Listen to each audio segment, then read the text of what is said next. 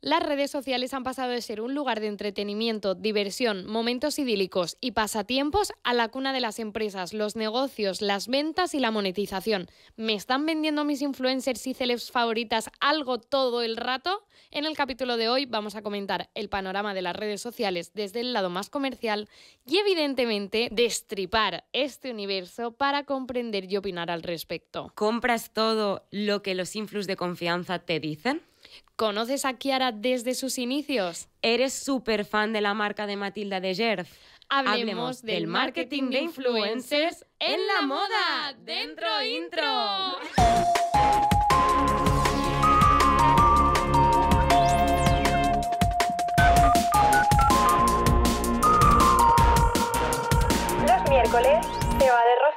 Hola Marina, ¿cómo estás? Hola Paula, pues súper bien aquí a ver qué tal este capítulo sobre influencers. Pues súper bien, obviamente, porque tenemos aquí toda una experta, que eres tú. Background. Bueno, a ver, experta. No sé, yo creo que es más adicta que experta, pero bien. Adicta. sí, both. Adicta, adicta, adicta. ¿No te pasa que sigues como a tantos influx que algún día, en plan, a mí esto me pasa cada vez más.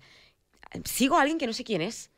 Y de golpe yo digo, ¿he seguido yo a esta persona voluntariamente? Mucha gente culpa al algoritmo de TikTok. Ay, no, pero y en Insta, y en Insta, ¿eh? Ay, en En Insta Insta. también me pasa de, uy, qué look más chulo, ¿quién es esta? Es que yo no me hago esa pregunta porque automáticamente cuando veo algo que me gusta eh, por redes sociales digo seguir. Rollo, si me has gustado de una que es muy difícil captar la atención de alguien y más tan contaminado como yo, si me ha gustado algo te sigo y voy viendo lo que haces, pero sí, no sé quién es el 95% de las personas o, que sigo. o cuando dices, he visto una falda que me encanta, no sé qué, no sé qué foto, y de golpe dices, mierda, ¿Cómo se llama? ¿cómo se llama ella? No, no, yo eso no ya lo no sé. encuentro nunca más la falda, venga, No, no, chao. yo no lo sé. Yo lo que hago, ¿sabes lo que es? Si quiero buscar algo que he seguido hace poco, me voy a seguidos y pongo en orden cronológico los Ya, más ya. recientes. Y yo a me Pero gusta soy incapaz. Instagram y bueno, pero es que ahí te tiras un año, ¿eh? No, soy incapaz de recordar un nombre de una cuenta. Sí, Tal estamos cual, ¿eh? Cucú. next level. Cucú de Lulu. Level up. Level Bueno. up. Level up. Claro, yo hace unos años si me encontraba una influ que me gustaba por la calle, yo Sí. sabía decirle el nombre. ¿Me explicó? O sea, yo sabía decirle, ay, Paula, te sigo, tal, no sé Pues qué, me no, encantas. entonces no te gusta tanto. Eso me pasa un montón ahora. Me cruzo con gente y me dice, ay tía, me encanta, me encantan tus vídeos, no sé qué. ¿Cómo te llamabas? ¿Cómo era tu frase? Y digo, entonces no te encanto tanto. ¿Eso te pasa? Sí, Yo la gente que me encanta de verdad, me encanta de verdad. No, porque me No encanta- me gusta un poquito. Me encanta visualmente, en plan, no es como tus vídeos, tú informas, tú dices cosas, hablas. Tú hablas de gente que solo ves. Claro, yo veo gente, la veo y sé cómo es su cara, sé cuál es su estilo, sé cómo visten, sé dónde viven, porque sé cuáles son sus ciudades, porque la veo Dios, todo el ah, día en vale. Berlín. Digo, psicópata. Pero me preguntas, ¿cómo se llama? Y digo, ay, ¿esta era Lisa o Hombre, era claro, Linda? es que si me o estás era... hablando un- de una persona de Berlín que su nombre seguramente sea que Pues tienen eso. nombres súper complicados. Pues me pasa. Ya, Eso te que me entiendo estoy haciendo mayor, no completamente. No, no, no, yo tampoco soy capaz de, de recordarlos. O sea, decidnos vosotros si lo sois, pero yo creo que es un síntoma de narcolepsia, iba a decir. Sí.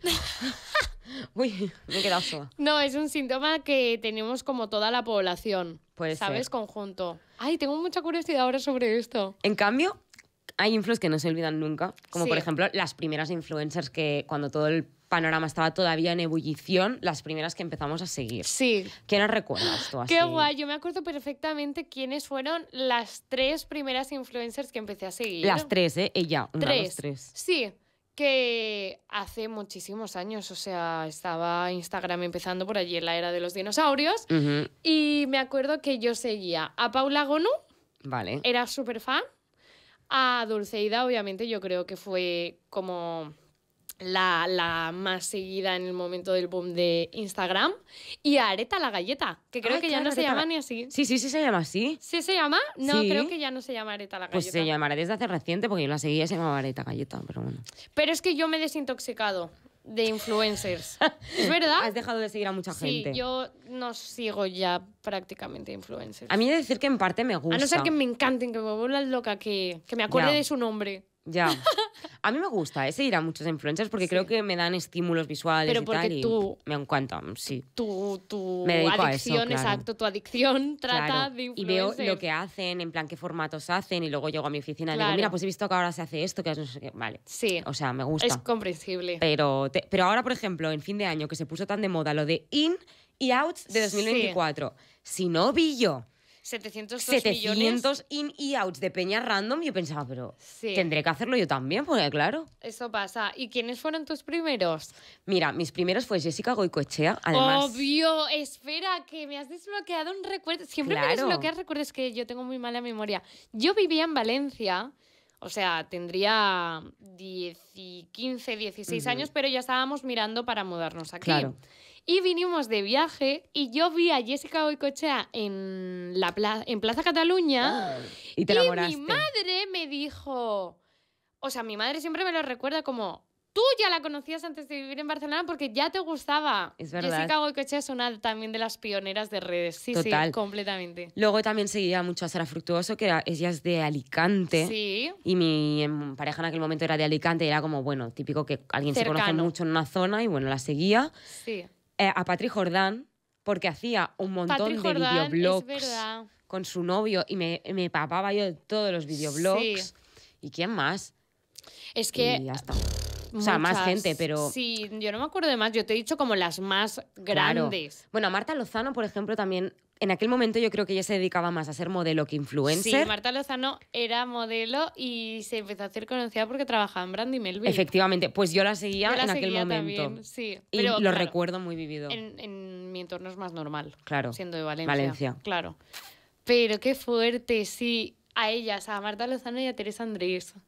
Sí, yo creo que es un buen principio. No había tanta gente que seguir, ¿eh? O sea, yo me acuerdo cuando te hacías el Instagram, seguías a tus amigos, igual tenías a cinco influencers. Sí, luego había no era como ahora, no había tantos. Claro, sí que había alguno internacional. Chiara Ferrañi. Chiara Ferran... Ferragni, Chiara Ferragni. que ha parido el Instagram ella Exacto. misma, o sea, es la madre de Instagram. Luego había una que seguro que tú conoces, que era como un poco goth, que se llamaba Luna o algo así. Lu- Luna, Luna aquí, de aquí. No. Ella estaba pegada en redes sociales cuando empezó Instagram Pues también, mira, ¿eh? Yo no lo sabía. Pero eso. no hacía nada de lo que hacía ahora.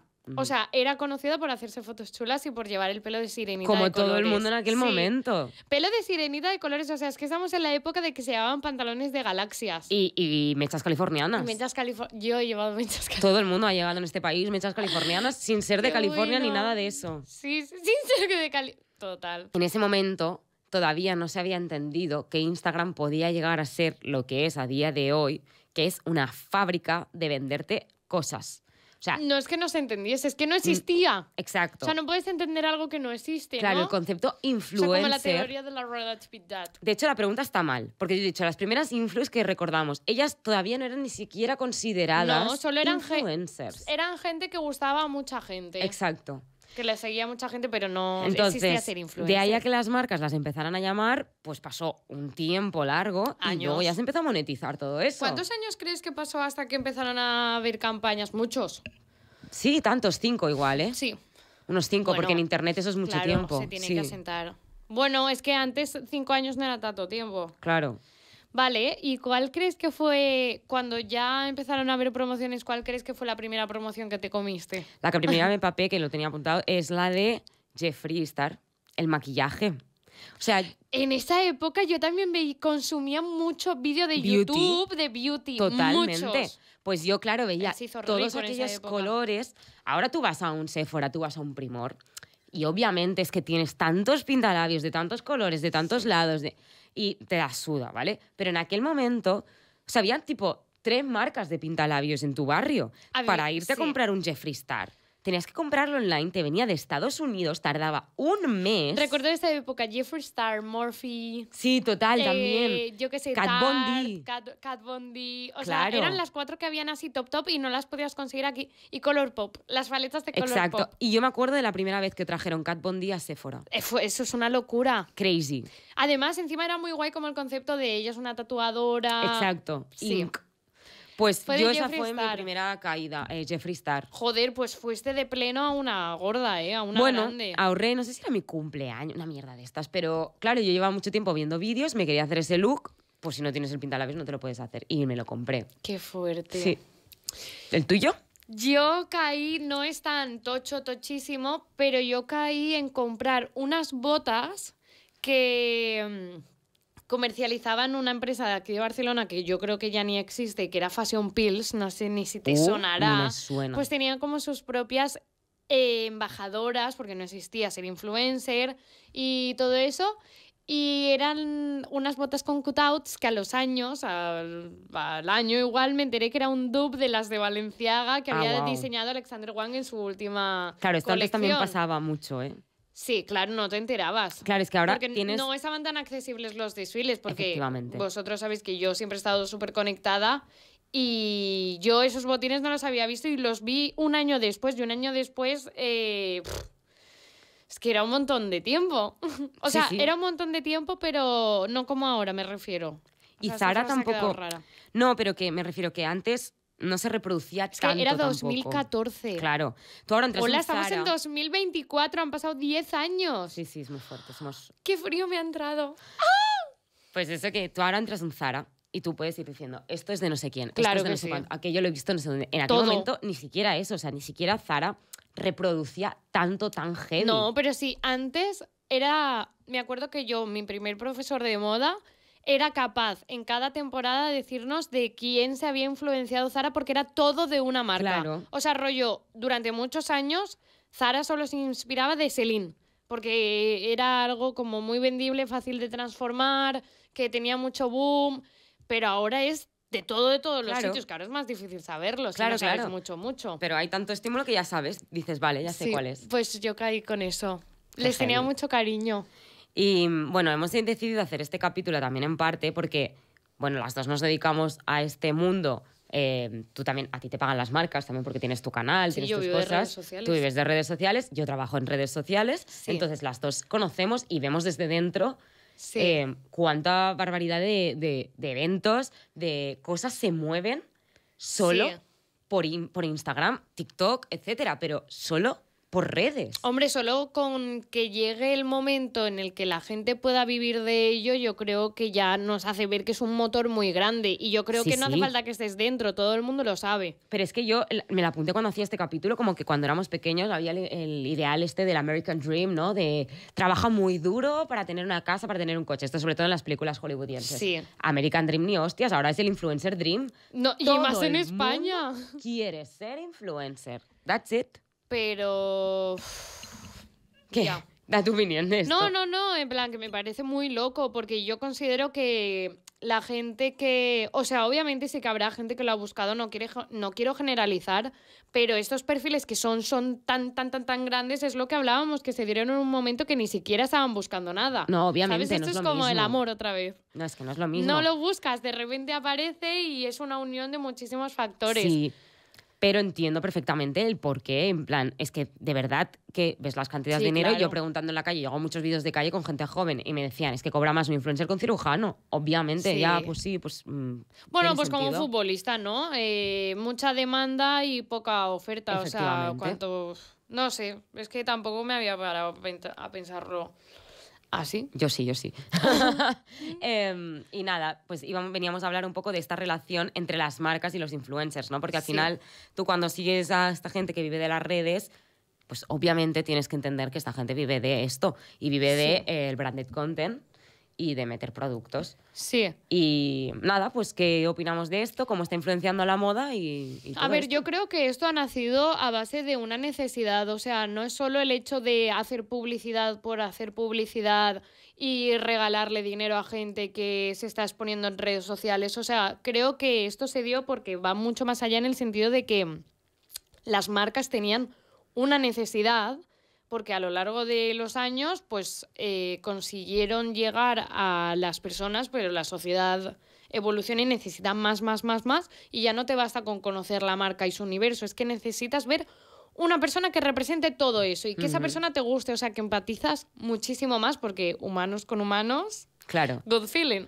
O sea, básicamente en publicidad se dice como que existen las marcas tipo la publicidad de 1.0, 2.0, 3.0, en plan la primera era basada en producto y en el utilitarismo del producto, Sí. luego ya se pasaron a Que hablar... esto es como el nivel 1 de también de Claro. influencers, ¿eh? En plan, luego ya se pasó a hablar de em, la emoción en esa marca, en plan ya apelaban a emociones, ¿no? En plan, de, destapa la felicidad con Exacto, Coca-Cola. exacto. Luego ya de valores, o sea, ya no Sí. le exigíamos solo a la marca que te produciera emociones, sino que la marca tuviese valores, Cruen como una persona, sí. exacto, como una persona que estuviera alineada con tus valores y ahora ya nos la estamos llevando a un extremo que es literalmente personalizar lo que tú Sí. dices. O sea, de hecho hay muchísimas colaboraciones entre, ahora las comentamos, colaboraciones serias entre marcas y personalidades para conseguir atraer a gente que, que- que le caes bien tú como persona. Claro, es en lo ¿Sabes? que consiste simplemente, Sí, porque si no, Eso ¿para es qué? muy heavy, en verdad, ¿eh? Claro, todo pues yo lo veo como una relación de amor. ¿Por qué? Ah, ¿yo? Sí. Porque veo que cuando hay una relación entre una influencer y una marca, necesita mucha alineación. O sea, no es solo el hecho de que uno tenga muchos seguidores o mucha exposición y el otro tenga un producto que ofrecer, sino que encajen, porque si no nos vemos en otras cosas que también me gustaría comentar, como el engaño, la traición, eh, muchas Promociones Sí, raretas. Claro, promociones raras. Entonces yo lo veo como de amor porque cuando ambas partes cuidan la relación y encajan, pues claro, esto es lo que debería de ser algo próspero. idealmente, ¿no? Ya, es que yo trabajo bajo Bajo ideales. Sí. Yo creo que en la mayoría de los casos, No, por desgracia, no es así. Buscan así a alguien a dedo que yo hay veces que veo a alguien haciendo una promoción y Claro. digo, ¿what? Diciendo, mm, tal marca de galleta de chocolate. Y tú, Sí. pero amore, tú no hablabas mm, de pestañas postizas. No Sí, entiendo nada. Claro. Entonces, eso, no sé. ¿Tú qué opinas de las relaciones entre las marcas y ahora, actualmente? Actualmente, yo creo que me parece acojonante la de años que han pasado, que tenemos redes sociales Y que siga el mismo modus. y que las marcas sigan sin entender ni una puta mierda de en qué consiste esta, vaina. Ya. Quiero decir, yo entiendo que Ha hace... ha evolucionado. Claro, yo entiendo que hace cinco años una marca no entienda cómo funciona y busque un número alto de seguidores. Lo entiendo perfectamente. Pero que a día de hoy todavía haya, en plan, marcas tochas, porque no te estoy hablando de una marca que acaba de empezar, marcas tochas que seleccionan perfiles que, o, o ya no perfiles, ya la Contenido, creatividad del sí. contenido que dices, pero ¿quién coño ha hecho esto? Es que yo creo que... ¿Cómo esto te ha parecido una buena inversión? ¿No? Total, yo creo que eso atrae al-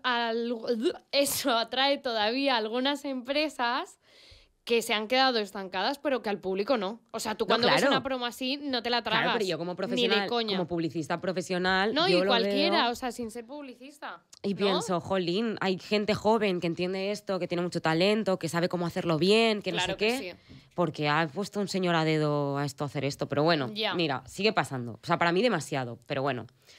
Sí que en 2024 siento que va a haber como más boom de microinfluencers y eso Sí. está muy bien Ujú. porque te permite especializar mejor el contenido y tal.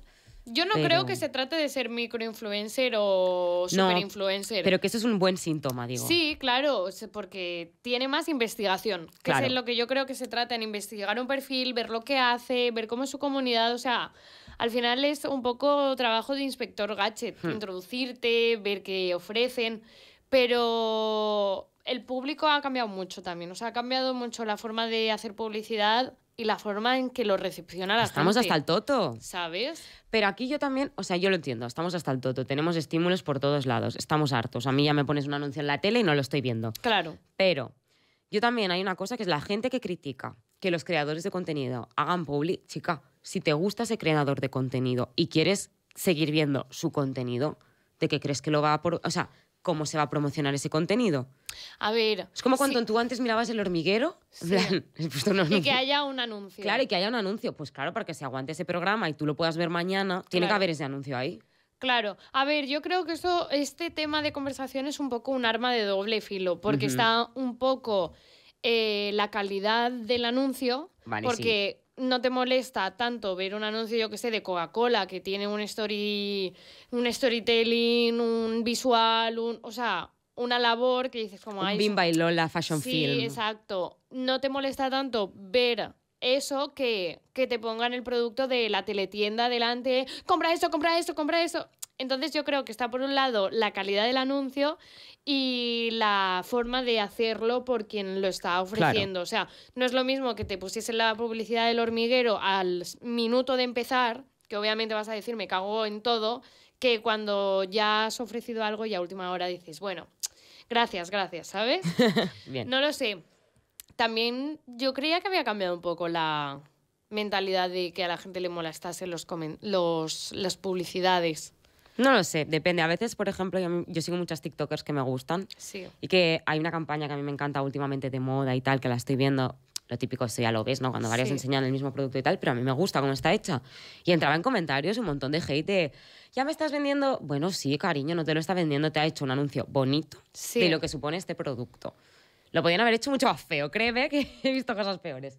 Y entonces sí que noto como reticencia, y es normal, porque igual no quieres ver un anuncio, pero estás en una plataforma gratis. A ver, ver un anuncio es también tener una recomendación por parte de ese creador que en teoría está respaldada por lo que le gusta. Obviamente caemos otra vez en lo de que la gente ya está cansada porque muchas veces ves publicidades que no encajan ¿Qué te con gustaría esa ver? persona. Por ejemplo, algo que te gustaría ver, que dices, ay, pues creo que no se está haciendo suficiente esto. En plan, Por ejemplo, en moda, ¿vale? Crea- con creadores de contenido de moda. Yo siento que antes, por ejemplo, una cosa que se hacía mucho en tele tradicional y tal, eh, como invertir mucho dinero en crear un universo de marca que fuera como estético, en el que participaran caras visibles, ¿no? Un anuncio Sí. de Zendaya anunciando no sé qué top por todo lo alto, un anuncio precioso. O en Vogue, en una portada así. Esto me parece precioso, creo que queda, crea lore de marca sí. que es como más perdurable. Pues imagínate que cogieran a un montón de influx y crearan como micropiezas, pero pensadas para formar parte de un lore de marca. Sí. De como un fashion film, pero Sí. por cápsulas Sí, o algo sí, así. Sí, sí, sí. Como lo que ha hecho, yo que sé, Twitch para Navidad. Algo, sí, menos. No sé, por ponerte un ejemplo. pero sí, sí, plan más trabajado. Siento que a veces en redes sociales el contenido se percibe como, bueno, es de paso y es Porque te meten la promo así, solo Claro. porque yo creo que ya se ha relacionado con dinero fácil. ¿Sabes? O sea, cuando el influencer llega a un nivel, ya piensa, le puedo meter cualquier cosa eh, de la forma que sea porque yo me gano el dinero y tú lo vas a ver porque, total, ¿qué es? ¿Un history? Pues un history. Y ahí yo creo que está el problema, ¿sabes? Pero al final que un creador nos ofrezca publicidad es una forma de que él también pueda mejorar su equipo, su infraestructura, en experiencias, en calidad de vida para poder ofrecer mejor contenido. O sea, claro, yo pienso mucho en mí. Uy, Vale. pienso mucho en mí porque yo pienso, si yo hiciese publicidad, conseguiría más dinero y estoy en un hipotético y con este dinero me iría de viaje y en ese viaje crearía contenido. O si yo llegase a tener más seguidores, pues igual una marca que no se preocupa tanto de hacer esa investigación que comentábamos, solo mira el número de seguidores, igual me daría la oportunidad de entrar a un evento, a un desfile en el que yo puedo grabar. Pero claro, todo depende un poco del nivel que seas de Claro. creador. Es que está quien hace el mega haul.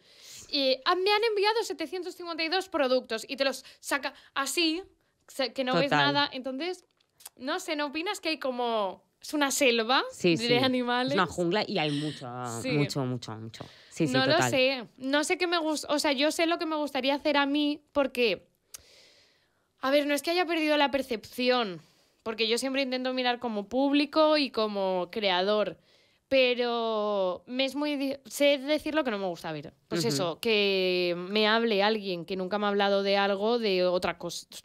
Alguien que se ha dedicado siempre a la moda, que de repente me hable De seguros de vida. Sí, exacto, Es exacto. como, eh. Porque te iba a decir de comida, no, me da más igual. Porque Claro, al en plan, final Te cuento lo que compro en tal Sí. supermercado. Ok. Eso me da Bien. igual, o de maquillaje, porque son dos universos que están así eh, juntitos. Pero que de repente me recomiendes un seguro de coche. O es que yo que sé, un fontanero. que dices? ¿Qué? Ojalá, porque hay pocos. ¿Sabes? Hay pocos fontaneros, más influencers recomendando fontaneros. Eso es lo que me, yo creo que me molesta. Ya. ¿A ti te molesta, qué te molesta más? Yo es que no me molesta ninguna publicidad, es decir. A ver, yo pero- siempre que veo que es publi de alguien que me gusta, o yo sea, le doy like. Yo le doy share, like. hazlo, Yo nena. también. Sí, muy bien. O sea, soy incapaz de ver un vídeo de un creador y se ha conseguido que me lo traga entero, no darle like. Puede haberme gustado más o menos, a no ser que no me haya gustado nada, pero siempre intento apoyar. Y si mm, me. Si veo que es una publicidad, digo, like para ti. Muy bien. O sea, hay que apoyar. Sí. Em. ¿Qué beneficios tiene que las marcas estén como tan vinculadas ahora con los influx? O sea, ¿realmente al sector de la moda esto le beneficia o le perjudica? Mm, A, ra- a grandes rasgos. Ya Súper traicionero eso. ya sé que no es ni una cosa ni la otra, pero Ahora hay mucho... Antes era una industria en la que la mayoría de personas eran profesionales y ahora hay profesionales y aficionados. ya. Entonces, yo creo que aporta mucho porque se ha abierto, ya no es tan hermético y da oportunidades a gente que igual antes no se le habrían dado y puede ser un creativo increíble. Y también hay mucha mierda. Hay mucha mierda dentro de la moda, ¿no? ¿Tú qué crees? Sí, pero bueno, sí, pero también es complicado decir que yo creo que al final es una muestra de la realidad. Sí. Igualmente antes sería cerrado, pero lo que había ahí dentro también sería una muestra de lo que habría en la realidad. Sí, ¿Sabes lo que claro. te quiero decir? Habría Sí. algún enchufado ahí dentro que tampoco tenía ni Ah, pajolera claro, idea. sí. Entonces, bueno, pues puestos a que haya un enchufado que sea porque se le ha ocurrido y ha generado mucho contenido. Hmm. Malos, creo que creo que le estamos dando muchísima importancia a la industria de la moda, que para la gente Sí. que nos gusta está muy chulo, pero a la vez creo que es un bucle que se retroalimenta, se hace mucho mucho mucho más grande y no ¿Tú sé crees? sí, no sé ¿No hasta dónde crees va a que lo llegar sientes esto. así porque estás dentro? Yo no sé hasta dónde va a llegar esto. Pero plan- yo creo que yo también siento que la moda cada vez es más grande, Hmm. pero pensaba que es porque yo cada vez estoy más dentro. Ya, pero yo también tengo esa conoces más. percepción, ¿eh? Pero es que tú también estás dentro, cariña. O sea, estás aquí y tienes Pero, un ¿y podcast qué- de moda. ¿Qué te me pasa? va- ¿Quién me va a...? No entiendo, en plan... ¿Sabes? O sea, creo que nos estamos centrando toda la- muchas cosas en eso.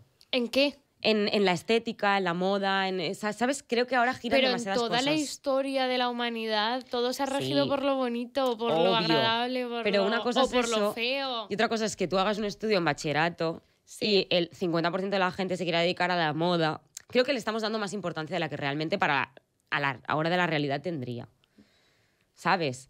A ver, a la hora de la realidad, importancia Plan, tiene necesita- la medicina. claro, eh, tenemos, tiene todo. Es eso. Bueno, todo, es que no sé, Tiene tampoco todo. se puede comparar. Entonces, a mí lo que me da miedo es que nos carguemos la diversidad. ¿Sabes? Como que todo sea beauty, moda. O sea, creo que las redes hacen mucho eso, hinchan mucho algunas cosas. Sí, por ejemplo, que ahora todo el mundo, si quiere trabajar en moda, es ser diseñador. Mm. Y no investigan en que puede ser, por ejemplo, el otro, sí, el otro día una chica me preguntó, Paula, ¿dónde puedo estudiar eh, técnicas de iluminación del tejido? Y le dije, me parece increíble que hayas investigado mucho más allá del ser diseñador, porque Total. es verdad que cuando hay un show, un espectáculo o incluso una fotografía, afecta mucho la iluminación a cómo se ve esa prenda.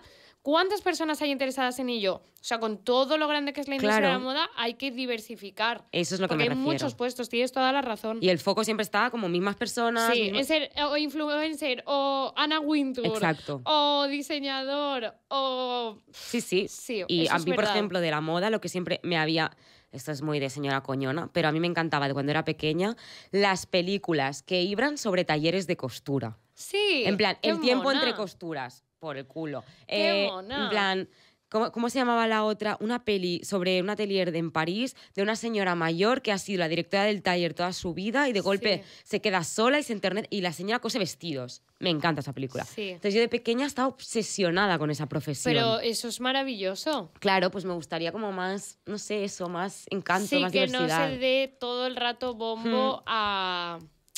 Ya, pero cada época tiene su momento y estamos empezando por glorificar al diseñador y más adelante será otras cosas. Es Venga, como... hacerse patronistas todos. Yo qué sé, es que es tan complicado, o sea, te entiendo tanto, pero es, Sí, es sí. complicado. Obvio, pero ya está, esto es O como sea, sí, que- y ahora es el influencer. Todo Claro. el mundo se guía por ser el influencer y el influencer cuando hay muchísimos trabajos dentro de redes sociales. O sea, puedes estar, mira, por ejemplo, como está Marina, del lado de la publicidad, del lado de las redes sociales, o puedes estar del lado de la marca, del lado de la campaña creativa. O sea, el otro día yo, por ejemplo, conocí a un chico que trabaja en Loewe y él se encarga de decidir todos los contenidos que se van a hacer de, de la temporada.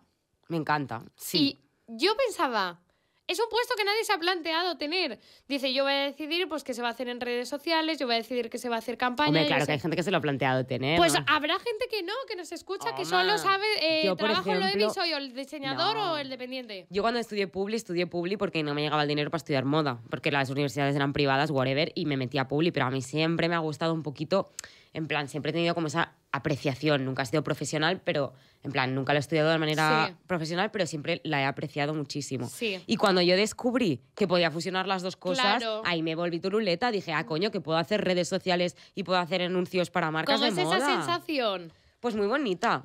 Ese tema me interesa mucho porque nos centramos en ser una cosa, sobre todo cuando nos dedicamos a las redes sociales, y es algo que, por ejemplo, yo he vivido muchos, mucho estos tres años, que consideramos que para ser profesionales hay que ser solo una Una cosa, y luego pienso, joder, las personas somos muchísimas cosas, somos simpáticos, somos antipáticos a veces, somos serios y a veces somos sensibles, o sea, y son cosas contradictorias que nos componen porque cuando creas contenido o eres influencer no puedes ser También otra todas cosa. las cosas. Ya. Entonces, eso yo creo que también es como el next level de a lo que van a ir las marcas con los influencers y la publicidad. O sea, ahora estamos en el nivel 1, producto, producto, producto. Bueno, ya hay algunas que se atreven Algunas, un poquito sí. más, muy, po- muy poquitas, pero sí. Un poco más de storytelling cada vez, un poco más de experiencia, un- ofrecer otras cosas. Es que estamos aburridos ya de todo. Claro que sí, pero porque somos así, somos Otra unos- vez, otra vez, otra vez. Somos otra vez, otra incansables. vez. Y el tema de las Fashion Weeks. Qué mentira, no somos incansables, somos cansables. Somos cansinos, que es Somos diferente. cansinos. Eh, influencers en la Fashion Week. Mm, ¿Qué onda eso? Porque yo la última vez que estuvimos eh, juntas había gente que no se podía sentar en los asientos de tanta gente que había. Sí. Mm, ¿Qué onda? A ver, yo pienso. Yo tengo una unpopular opinion. Yo creo que todo el mundo piensa que yo voy a decir no, influencers no, apropiación cultural, eh, apropiación cultural no, eh, laboral, Intrusismo. intrusismo laboral, eh, todo. Y realmente yo opino que la moda cada vez es más grande y caben más personas y también aportan una parte que es que es esencial. Vale, pero que pongan más sillas. Claro, el influencer de calidad, guay. Mm, y me parece bien, o sea, a mí me parece bien. Es que ofrecen información de otra forma. No toda la información tiene que ser igual, la de la revista impresa, con foto, con tal. Entonces, no sé, ¿tú qué opinas? Yo que me parece genial, porque además También te digo, yo si no, no estaría ahí sentada. En sí, plan, pero que sea influencer bien elegida. Bueno, Que le quiten de trabajo a una persona por meter a otra persona que no Ya, tiene nada que ver, tema. eso sí que me parece mal. porque yo también en ese show vi a periodistas que llevan muchísimo tiempo escribiendo sobre moda, que no Sí. había sitio, es que no había sitio donde Sí. sentarse. Entonces a mí me parece bien que queramos abrir el show y que entre más gente, pero con Sí. más sillas. No sabes la de discusiones que he escuchado yo estando este sentadita. es mi sitio. Sí, sí, y gente diciendo, gente que se dedica a la moda, porque claro, ahí está el conflicto de que están prensa escrita, prensa digital, Total. influencer, eh, comunicador digital, que es como mi caso, y de repente igual eh, los típicos que van cada año a la Fashion Week, que siempre se sientan en tal sitio porque hacen las imágenes, ¿no? Y dicen, ha llegado la niñata esta a decirme a mí que este era su sitio, yo tengo que tener tal, bla, bla, bla, y es como, tío, si esa persona tiene una invitación y tú también tienes una invitación es porque tenéis que estar aquí y peleas, no sé. Bueno, Mm, a mí en la es- última me es pasó. que no sé. Ah, una cosa súper divertida en el Es último que yo no me desfile. peleo ni con una señora por un taxi, o sea. No, que- yo tampoco, a mí me da igual. O sea, yo además es que soy tan enana que a mí literalmente me encabes en cualquier sitio y yo además estaba encantada solo de estar allí. Vale, Con, ok. con poder grabar bien. Efectivamente, Si es si el stories me queda bonito, yo ya no me... No, es broma. Pero pasa una cosa, y es que a veces cuando tú vas a los desfiles te dejan como un detalle, un algo, en plan, Sí. está tu nombre ahí puesto y... Te la habían golpe, robado. Tía, no a mí, a toda la hilera. Que dices, pero ¿quién...? Tipo, qué vergüenza, tío. O sea, ¿quién ha ido metiendo la mano en todos los paquetitos? Eran pintalabios. Sí. Faltaban pintalabios. Lo... El mío, concretamente. que me da igual, pero como que cutre, ¿no? Sí, hay gente muy Además que, que si te ven, qué vergüenza. Bueno, está... Ahí la magia, ¿no? Fuiste tú, Paola, fuiste tú que No, cogiste el no, pintalabios. No sé de cuál hablas. Yo No, no, tampoco no tenía. estabas, tú no ah, estabas. Vale, yo ya había muerto. Habías muerto, efectivamente, habías muerto. Es que esto, es- bueno, sí que lo he contado, lo subí en el blog. Qué fuerte. No, no, yo no estaba. ¿Qué campañas así recuerdas como icónicas de influx y marcas? Yo tengo una que es relativamente reciente. Porque no todo es malo. O sea, no, no, no, aquí hay cosas que me gustan mala. mucho. Yo este año alabé mucho la campaña que hizo Hugo Boss en la Fashion Week de París con eh, La Tube Girl. Sa- Sabrina se llama No sé. Eh, Tube Girl con la Tube Sí. Girl del metro, la chica del metro. Qué fuerte. ¿Ves? Este es un caso de persona que se ha hecho súper viral y En ha muy poco ha tiempo. aprovechado el momento en una semana. No- y no solo ella ha aprovechado el momento, Una ahí semana. me gustó mucho la marca. Creo que Sí. estuvieron muy rápidos en, o sea, una persona, otra marca así de tocha y en Fashion se Week no se hubiesen arriesgado a llevar a una persona Que no conoces de nada, no tiene ha background exacto, en redes. que no sabes ni lo que hace. Es muy complicado la Sí. decisión. Y la llevaron a Fashion Week y la pusieron literalmente en el foco. Sí. Con Pero es Charlie que D'Amelio. Hugo Boss justamente es una firma muy, muy, muy avanzada a nivel campañas en redes sociales. De hecho, fue la primera marca que apostó por un mega TikToker que es Kabilame, que era el TikToker más, bueno, ya no sé si es el TikToker más seguido del mundo. Y fue la primera marca en decir que él era embajador. Que eso es súper, súper top. Entonces Ya. me parece una buena marca como para guiarse de, de estrategia un poco en total. redes. Sí. Sí, es que a mí me sorprendió porque además luego hacían entrevistas cuando ya salía de Fashion Week Sí. esta chica. Claro, que le decían, ¿qué será lo primero que, que hagas? Lo primero, porque claro, ella salió del metro a la se- a la pasarela. En plan, y ella decía, hombre, pues lo primero que haré es contárselo a mis padres, que no me ha dado ni tiempo a decirles que estoy aquí haciendo esto. Qué Y fue como, qué guay la marca, qué reactiva y qué bien asesorada. Eso es muy guay también de las redes sociales, que Hmm. de un día para otro puede cambiarte la vida y puede ofrecerte una oportunidad que, que te corresponde. Porque en este caso yo considero que le corresponde. Hace un contenido, tiene talento, en plan, lo hace muy bien, está muy bien editado. La tía Sí. le pone un par de, de esto Sí. porque ponte tú a hacer eso. Sí. En plan, No, ahora sí, claro, cuando ya lo había hecho ella. Claro, pero no, ella fue... la- Es que el primero solo es un loco. Claro. Pero el primero cuando le sigue uno ya es un ídolo. Entonces, Exacto. qué Ole bueno. ella. Sí, esa fue muy guay. Em, luego, otras campañas que tengo apuntadas. Em, bueno, Road Beauty. Sí, Creo que es una marca que está 100% basada en esto, en plan, en cómo mover el 100%. influencer marketing. Sí, Lo hacen muy bien. Sí. Y a mí me gustan todas sus campañas que ha sacado este año. A mí también. En plan, cookies. Estoy sí, en- cherry, intoxicada. sí, efectivamente. Yo estoy súper intoxicada de um, Hailey Bieber. Me gusta todo lo que hace. Es que lo hace muy bien en redes. Sí, lo hace muy bien. Se nota que ella es influencer, que ella se dedica a esto y que por lo tanto ella está bien Sí, porque ya no es asesorada. modelo, ¿eh? Yo ya Ahora no no considero que sea modelo. no, no, no, ya nunca. Hace fotos, vale, pero las A mí me parece lícito y me parece que se le Sí, da sí, mejor sí, esto. A mí me parece que es también. Creo que tiene talento para sí, esto. a mí entonces, también. Me gusta mucho. Go for it, girl. ¿Cuál más? Eh, tengo también apuntada la campaña de este año de Poster Girl. Muy heavy esto. Súper chulo, muy bien hecho. Cindy Wolfie es que eh, Wolfie Cindy es muy top. Magnética, absolutamente magnética. Súper heavy. Pero ves, por ejemplo, yo creo esta campaña no la he visto, en plan, no la he visto en tele, no la he No, visto en. YouTube, no la he visto en póster físico, que seguramente en Nueva York y en alguna otra ciudad igual estuviera. Sí. Pero la mayoría de la población mundial La ha consumido en redes. redes. Y es una campaña de redes planteada creativamente y de ejecución con la misma, el mismo cuidado creativo que si hubiese sido tele Sí. o hubiese sido una marquesina. Está muy, muy bien. Está muy top. Muy guay. Sí, ese es muy guays. Y que te hayan gustado menos, así para cerrar, siempre tenemos que dar Vale. esa cosita. No menos, pero ha habido un par de resbalones este año muy Sí. fuertes, en plan de... El primero lo has apuntado tú, pero que yo también lo tenía apuntado, que es Chiara Ferragni, que le ha pasado este año. Ah, con lo del panetone. Eh, Era un Pandoro, Bueno, matizo. sí. Pandoro, perdón. El Pandoro que anunció. Sí. Eh, y por culpa de eso se le han caído colaboraciones con marcas Pues sabes que he visto hoy justo cuando pensábamos que ya había acabado todo el conflicto. Pandoro Drama. Sí, sí, o sea, tú pensabas que había acabado lo de Chiara Ferragni con el Pandoro esta Navidad. Pues no, amiga. Este enero han subido en un montón de plataformas de reventa los Pandoros por más de 500 euros. Te venden la cinta que presenta el Pandoro por 200 euros. Es que lo he visto hoy mismo. Lo compramos para el podcast, lo ponemos aquí. O sea, Tipo, aquí. muy heavy. Eh, se le cayó ayer una campaña muy tocha con Coca-Cola. Sí. por- Enorme. O sea, ya la tenían grabada, era un spot enorme. ¿Y lo ha la- contado? Lo ha anunciado Coca-Cola, que ya lo habían grabado, pero que no se va a emitir. Oh, lol. Y una más para cerrar el cap. Que nos Y otra también que fue un resbalón es cuando Matilda de Gerf empezó a meterse con los creadores de contenido. Es que, ¿cómo se te Es que- ocurre? es que, amore, y no más hagas- siendo tú una. Claro, siendo Es que de- estás loca, Matilda.